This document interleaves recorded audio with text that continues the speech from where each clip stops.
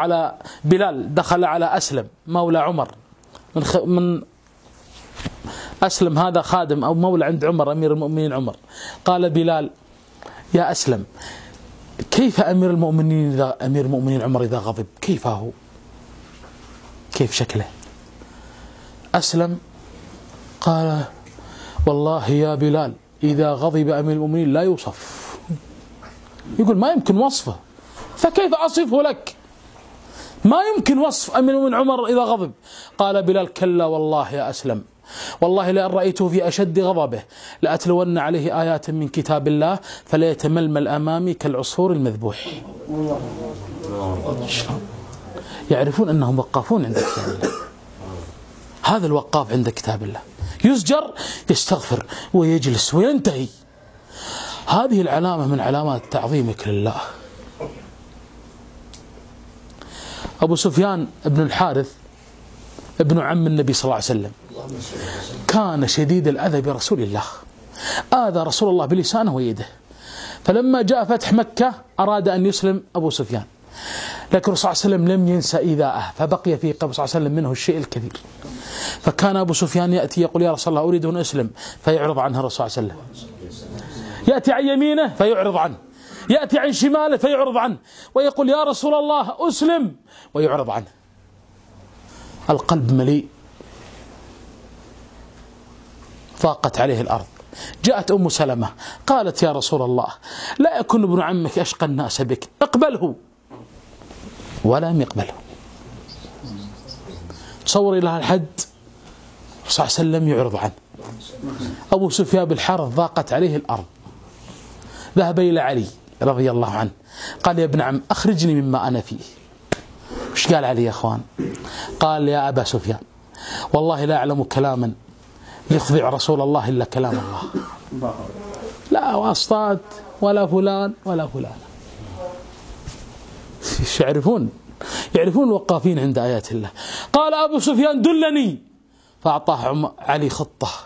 قال اسمع إذا أتيت قبالة وجه صلى الله عليه وسلم فاعتذر له اعتذار إخوة يوسف ليوسف.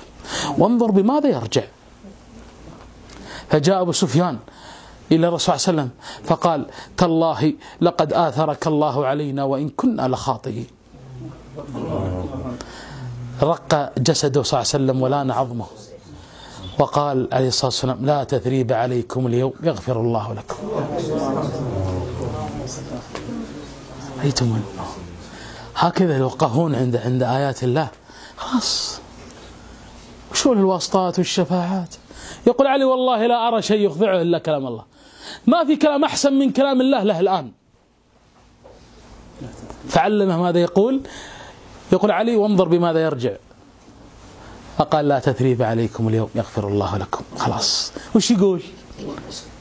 نعم يا إخوان فالوقفون عند آيات الله هم المعظمون لله. حقيقة. هم المعظمون.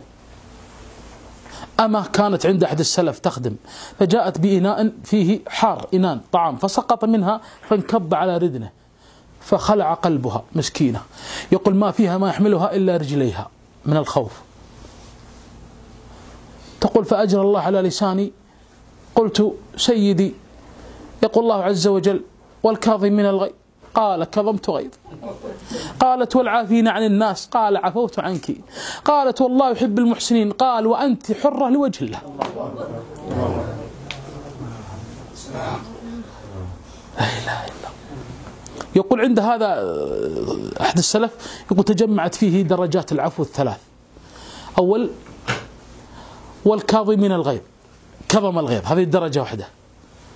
بعض الناس يمكن يكظم غيظه لكن ما تدري هل عفى عنك ولا لا. واضح؟ ما أظهر لي في القلب بس كظم. هذه درجة. اللي أعلى منها والعافين عن الناس. يخبره بأنه عفى عنك وسامحك. والأعلى منها والله يحب المحسنين. يهدي هدية. تخطي علي وأهديك. هذا العفو. فكانت جمعت لهذا الرجل الصالح رحمه الله. فكانوا وقافين عند كتاب الله سبحانه وتعالى. هنا تكون عظمة يا أخوان عظمة عظمة الله سبحانه وتعالى.